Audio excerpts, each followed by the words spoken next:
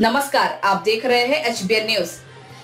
बहदराबाद में दो समुदाय के बीच हुए विवाद के संबंध में भीम आर्मी प्रदेश अध्यक्ष उत्तराखंड महक सिंह ने एसएसपी हरिद्वार को ज्ञापन सौंपा है और इसी के साथ जल्द से जल्द कार्रवाई की मांग भी की है। थाना क्षेत्र बहादराबाद के गाँव अतमलपुर बोगला में कुछ दिन पहले दो समुदाय के बीच किसी बात को लेकर विवाद हो गया था, जिसने सांप्रदायिक झगड़े का रूप ले लिया था। एसएसपी हरिद्वार सहित हरिद्वार पुलिस के अन्य आला अधिकारियों तुरंत मामले को संज्ञान में लेते हुए पूरे गाँव में भारी पुलिस बल तैनात किया और हरिद्वार पुलिस प्रशासन की सूझबूझ से एक बड़ा सांप्रदायिक झगड़ा होने से रुक गया, जिसका पूरा श्रेय हरिद्वार पुलिस को दिया जाना गलत नहीं होगा। इसी प्रकरण में काफ़ी लोगों को गंभीर चोटी भी आई थी। उसी को लेकर भीम आर्मी प्रदेश अध्यक्ष उत्तराखंड महक सिंह ने एसएसपी को ज्ञापन दिया। वही महक सिंह प्रदेश अध्यक्ष भीम आर्मी का कहना है कि हमने अतमलपुर बोगला में कुछ दिन पहले हुए विवाद को लेकर एसएसपी को लिखित ज्ञापन दिया है और दोषियों के खिलाफ कार्रवाई की मांग की है।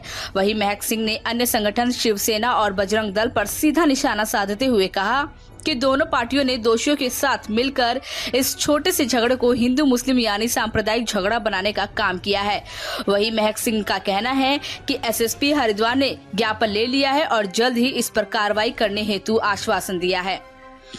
Bureau report HBN news. Sir आप आज यहाँ एसएसपी कार्यालय पहुँचे किस विषय में आप यहाँ का आना हुआ? आज हम बोंगला बहादराबाद में एक प्रकरण हुआ था दस तारीख में। उसी विषय में यहाँ मिलने के लिए पहुँचे हैं क्योंकि जब दो पक्षों में वहाँ पर विवाद हुआ और ये दंगा बढ़ा और कुछ असामाजिक तत्वों ने वो किसी गैर राजनीतिक संगठन के लोग हैं, मैं पूरी तरह से नाम ही ले देता हूँ, जिस तरह से आरएसएस और बजरंग दल के लोग, उन्होंने उस मामले में जाकर पूरी तरह से मामले को हिंदू मुस्लिम बनाने का काम किया। हमारे कार्यकर्ता पदाधिकारीगण उस मामले में पहुँचे हैं और पहुँच इस मामले को संज्ञान में लिया तो आज जब उसमें मुकदमा दर्ज थाना क्षेत्र बहादराबाद में नहीं हो पाया तो आज हम एसएसपी ऑफ़िस पहुँचे हैं एसएसपी साहब से मिलने के लिए। और लिखित में हमने आज एसएसपी साहब को एक एप्लीकेशन दी है। उस एप्लीकेशन के आधार पर हमने एसएसपी साहब से मांग की है कि जिस प्रकार से थाना क्षेत्र बहादराबाद बोंगला में ये मामला हुआ है इस मामले को इसकी जाँच करते हुए निष्पक्ष कार्रवाई इसमें करें। जिन जो लोग इसमें दोषी हैं जिन लोगों ने वहाँ पर आगजनी की जिन लोगों ने वहाँ पर तोड़फोड़ की गाड़ियों में आग लगाई उन लोगों पर तत्काल प्रभाव से कार्रवाई करते हुए उन्हें जेल भेजा जाए। एसएसपी की तरफ़ से आपको क्या मान्य महोदय एस जी की तरफ़ से हमें आश्वासन मिला है कि पूरी तरह से इसमें आपकी मदद की जाएगी, पूरी तरह से पीड़ित पक्ष की इसमें मदद की जाएगी। आज भीम आर्मी भारत एकता मिशन के कुछ सीमित संख्या में लोग यहाँ पर पहुँचे हैं क्योंकि कोरोना काल चल रहा है, हम पूरी तरह से सोशल डिस्टेंसिंग का पालन करते हुए आज यहाँ पर ज़िले के कुछ पदाधिकारी और प्रदेश के पदाधिकारी पहुँचे हैं। तो आश्वासित एसएसपी साहब के द्वारा किया गया है कि इसमें तत्काल प्रभाव से कार्रवाई की जाएगी, जाँच के आधार एकता का राज चलेगा, हिंदू, मुस्लिम, साथ चलेगा।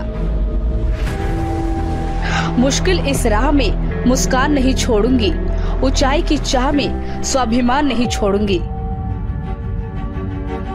महुआ विधानसभा क्षेत्र के दोनों प्रखंड के अंतर्गत विभिन्न पंचायतों में पिछले तीन सालों से मेडिकल कैंप लगाकर लोगों की सेवा में तत्पर।